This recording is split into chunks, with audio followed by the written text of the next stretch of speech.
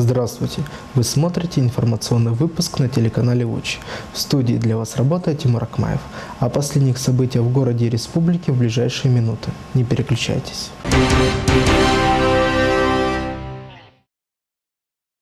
В Красноульской администрации 19 апреля состоялась церемония вручения наград родственникам погибших защитников ЛНР. Глава республики Леонид Пасечник ценит заслуги военнослужащих перед Отечеством и награждает воинов за их самоотдачу, мужество и отвагу, а некоторых, к сожалению, посмертно. В Красном Луче прошло торжественное мероприятие вручения наград родственникам погибших военнослужащих. На таком печальном событии присутствовали представители городской администрации, юнармии, друзья, коллеги погибших и близкие люди. Орден за доблесть вручается супруге старшего лейтенанта Сапунова Сергея Георгиевича Сапуновой Светлане Валерьевне. Медаль за отвагу вручается супруге рядового Остапенко Артема Анатольевича Остапенко Елене Николаевне. Медаль за отвагу вручается близкой родственнице рядового Попова Александра Александровича Москаленко Галине Васильевне. Вручается матери рядового Кравчук Игоря Игоревича Кравчук Елене Михайловне. Для родственников погибших это горькая утрата, которую нельзя описать словами или же заполнить ее. Матери, жены, дети потеряли своих самых дорогих мужчин. В конце мероприятия присутствовавшие почтили память погибших военнослужащих минутой молчания.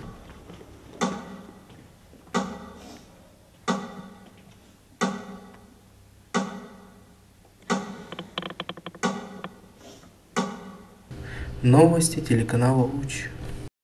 В Уголовный кодекс Луганской Народной Республики внесены изменения, которых говорится, что за распространение дезинформации, содержащей данные о вооруженных силах Российской Федерации, ЛНР и ДНР, предусмотрена административная и уголовная ответственность.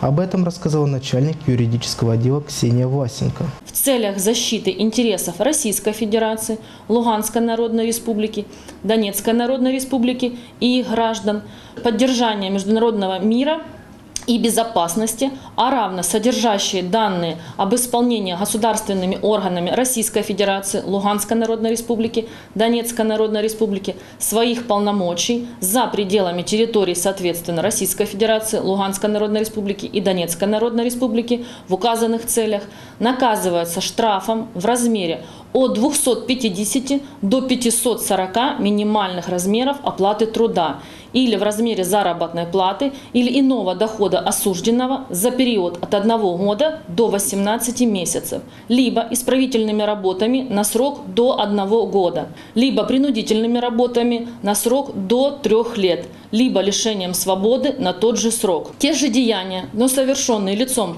с использованием своего служебного положения, группой лиц, группа лиц по предварительному сговору или организованной группой, с э, искусственным созданием доказательств обвинения, из корыстных побуждений, по мотивам политической, идеологической, расовой, национальной или религиозной ненависти или вражды, либо по мотивам ненависти или вражды в отношении какой-либо социальной группы. Наказываются штрафом в размере от 1080 до 1800 минимальных размеров оплаты труда или в размере заработной платы или иного дохода осужденного за период от 3 до 5 лет, либо принудительными работами на срок до 5 лет с лишением права занимать определенные должности или заниматься определенной деятельностью на срок до 5 лет, либо лишением свободы на срок от 5 до 10 лет лет с лишением права занимать определенные должности или заниматься определенной деятельностью на срок до 5 лет.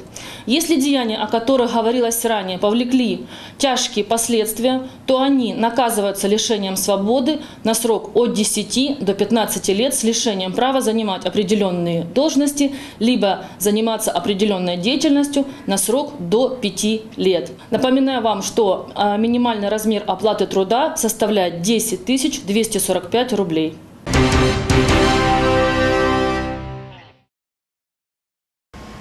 Эвакуированные в ЛНР переселенцы должны пройти регистрацию для получения помощи. Об этом говорится на сайте лиц с ссылкой на пресс-службу администрации главы ЛНР.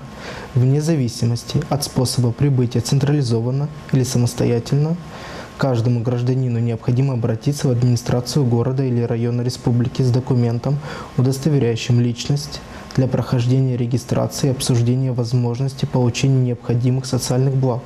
Говорится в сообщении администрациям поставлена задача оказать полное содействие в расселении, выдаче гуманитарной помощи, трудоустройстве, предоставлении возможности устройства детей в образовательной организации, консультативной помощи лицам самостоятельно расселившимся в арендованном жилье, либо находящемся у родственников. После регистрации также будет предоставлена необходимая помощь, сообщает в администрации главы республики. Кроме того, Леонид Пасечник своим распоряжением утвердил перечень пунктов временного размещения беженцев из зон боевых действий. В Красном Уче и на подведомственных территориях определено 6 пунктов.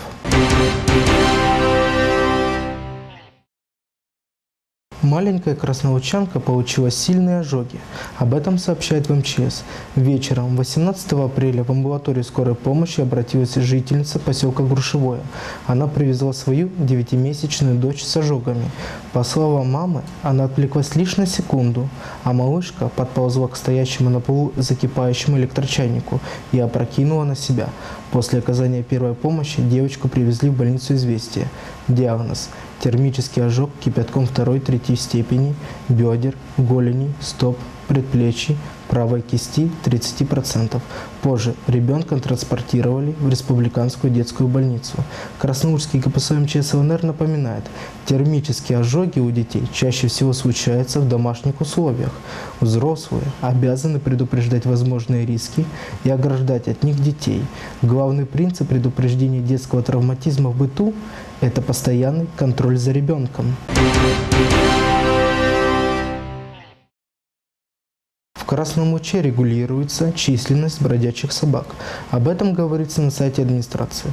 В связи с участившимися обращениями граждан по вопросам агрессивного поведения беспризорных животных 18 апреля сотрудники коммунального предприятия Луганский центр утилизации отходов на основании заключенного договора с администрацией нашего города провели работы по регулированию численности беспризорных животных в районе улиц Орджоникидзе, Первомайской, Ялтинской, Ленина, Харьковской, первого, второго, третьего микрорайонов и парковой зоны. А на этом наши новости подошли к концу. Для вас работал Тимур Акмаев. Всего хорошего, до свидания.